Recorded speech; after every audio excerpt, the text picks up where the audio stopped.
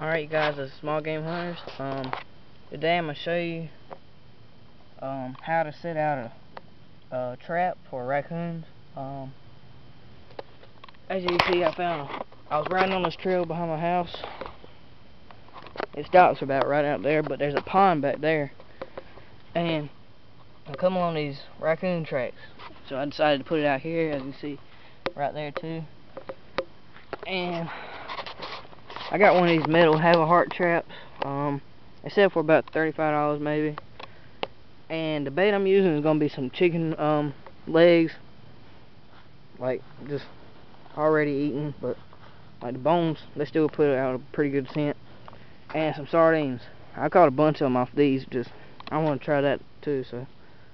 Um, all you basically do is set out, I mean, once the animal steps on that platform back there, it um goes down like that. I'll turn it. And what you have to pick this up right here and push this little thing right here back. And then oh, a second.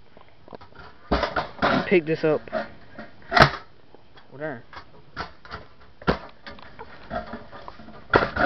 Pick this up just like that. And then you have to put th that uh what's my call it? That thing right there. That little piece of metal under that thing right there just like just like well just like that right there. So it sticks there just like that. And when he steps on it that lever comes out the door obviously falls there's where he has to step on just to make the door close. And I'm just going to throw these chicken legs back there at the very end of that cage.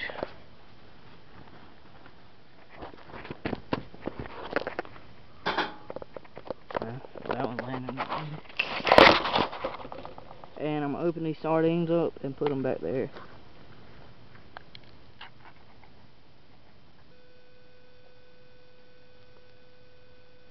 These things put out a bunch of scent. Uh, scent.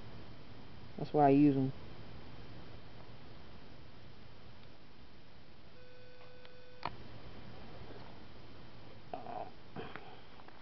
Just gonna slide them back there.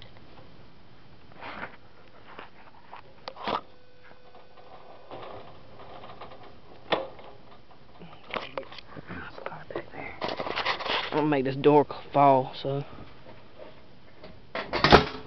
just slide it back there just like this. Well, I said I was. I had to put my hand through there, so bear with me right fast.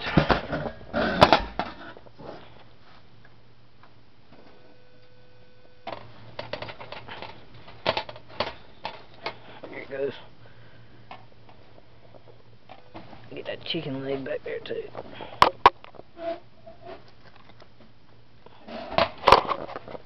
And that's pretty much all you do. Just leave it back there and set the trap out. So that pin there and the thing's up. And you're ready for business. That's pretty much how to set it out. So I'm going to come back tomorrow and make a video if I got anything. So I'll see you then. Alright.